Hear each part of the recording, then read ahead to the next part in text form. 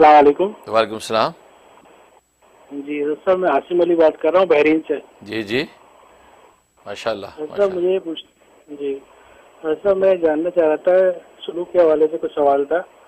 کہ جو ہے اپنے اندر جو ہے جو اپنے شیخ ہیں ان کی محبت جو ہے وہ کس طرح سے پیدا ہو جائے؟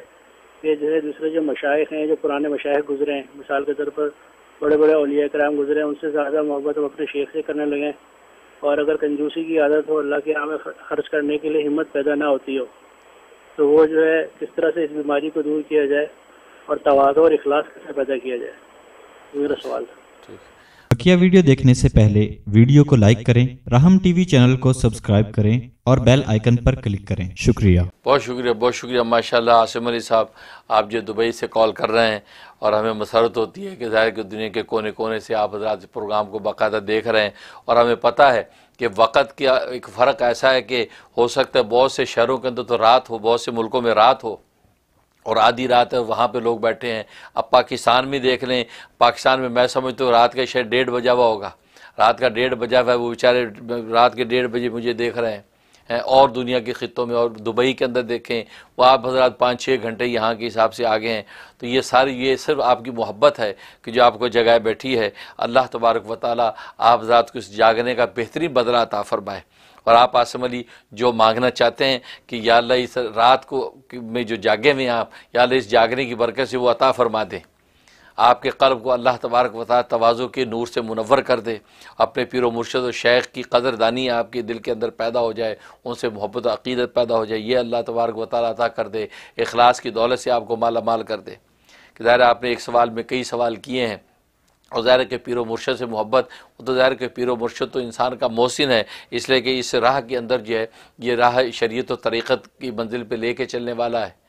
لہٰذا پیر و مرشد کے بارے میں مراقبہ کریں اور یہ سوچیں کہ میرا محسن ہے تبھی حضرت حکیم الامت مجدد ملت مولانا شف علی تھانوی رحمہ اللہ تعالیٰ نے فرمایا فرمایا کہ پیر و مرشد جو آپ کا ہے، جس سے آپ باقاعدہ بیت ہیں، فرمایا کہ اس کو پوری دنیا میں سب سے زیادہ اپنے لیے نافع سمجھیں۔ لہذا مرید کے یہ سب سے پہلا سٹیپ تو یہی ہے کہ وہ سوچیں کہ پوری دنیا میں سب سے زیادہ نافع جو میرے لیے، میرا پیر و مرشد ہے۔ بھلے اس سے بڑے بڑے مشائق بھی موجود ہوں، لیکن آپ اپنے لیے سب سے زیادہ نافع اپنے پیر و مرشد کو سمجھیں، کیونکہ آپ کا کنیکشن اس کے ساتھ جڑا ہوا ہے۔ اور جو کنیکشن جہاں سے لگا، آپ کو لائٹ وہیں سے آنی ہے۔ آپ دوسری بڑی بڑی لائٹوں کو دیکھ کے نہ وہ کریں، آپ اپنے کنیکشن دیکھیں، آپ کو جو کنیکشن ملا ہوا وہیں سے آپ کو ملے گا۔ لہٰذا اس سے حضرت تھانوی رحمۃ اللہ علیہ فرماتے ہیں کہ آپ کو ابا کی میراث ملے گی، دادا کی میراث نہیں ملے گی۔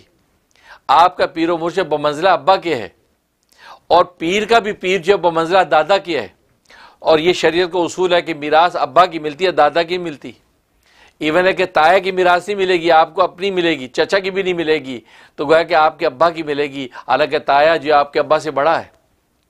تو اس لیے آپ کے پیر سے بڑے بھی پیر ہوں۔ تو حضرت تھانوی فرماتے ہیں، آپ اپنے پیر پر نگاہ رکھیں اور اسی کے اپنے تعلق کو بڑھائیں۔ آپ باقیوں کی عزت کریں، باقیوں کی تعظیم و تکریم کریں، لیکن آپ نفع بخش اپنے پیر و مرشد کو سمجھیں۔ اس کا مراقبہ کریں، اس بات کو بار بار دہرائیں۔ انشاءاللہ پیر و مرشد کی محبت اور قدر انسان کے دل میں پیدا ہوگی اور اللہ تبارک و تعالیٰ فیضان کے دروازے کھول دیں گے۔ اور جب اپنے پیر و مرشد کے ساتھ انسان اس طریقے سے جب وہ جڑتا چلا جاتا ہے، تو پھر دوسرے مشائق کا بھی فیض پیر و مرشد کے لطیفے میں اللہ تبارک و تعالیٰ لپیٹ کے آپ کو پہنچاتا ہے۔ اس لیے پیر و مرشد کو اپنے لیے سب سے زیادہ نافع سمجھیں، اسی میں برکت ہوگی۔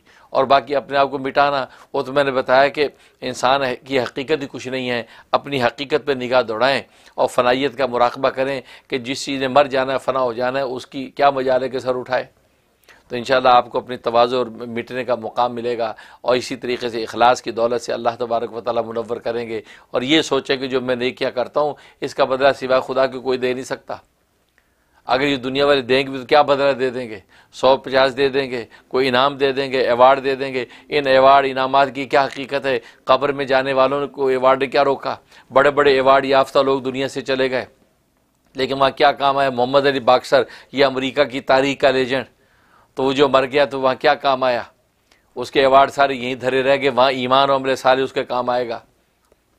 اسی طریقے سے بڑے بڑے لوگ جو دنیا سے چلے جاتے ہیں، سوچیں ان کا کام آنے والی کوئی چیز نہیں، یہ سارے مٹی کے گروندے ہیں، یہ مٹی کے ایوارڈ ہیں مٹی کی یہ ساری چیزیں یہیں شیلڈر رہ جانی ہیں۔ اس پر توجہ کریں گے تو آپ کو اخلاص کی دولت ملے گی کہ آپ سوچیں گے کہ اللہ ہی کے لیے کروں اور اللہ کے لیے سب کچھ ہوگا۔ ان صلاتی و نوسو کی و محیا یا و مماتی اللہ رب العالمین میری زندگی، میری موت، میری حرکت و سکون، میری حیات، میری عبادات سب کی سب جو ہیں وہ سب اللہ کے لیے ہیں۔ جب یہ تصور بن جائے گا، انشاءاللہ اخلاص کی دولت سے بھی آپ کا سینہ منور ہو جائے گا۔